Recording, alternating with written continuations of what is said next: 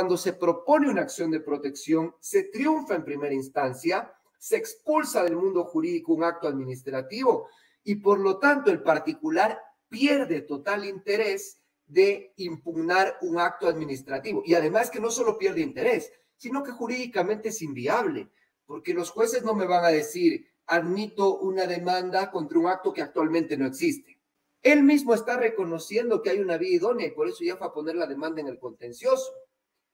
y por lo tanto la acción de protección debe dejarse sin efecto. Y yo le voy a decir, no, pero es que yo, yo puse para que por si acaso no se me pasen los 90 días. Sería totalmente absurdo y siempre pienso que hay que reflexionar en virtud de los principios y a mí el principio, ¿no es cierto?, me dice que no hay que abusar de los sistemas judiciales, sino que hay que concurrir a la justicia para solicitar ese servicio cuando realmente sea necesario y no voy a ir metiendo demandas por si acaso me revoquen en segunda instancia.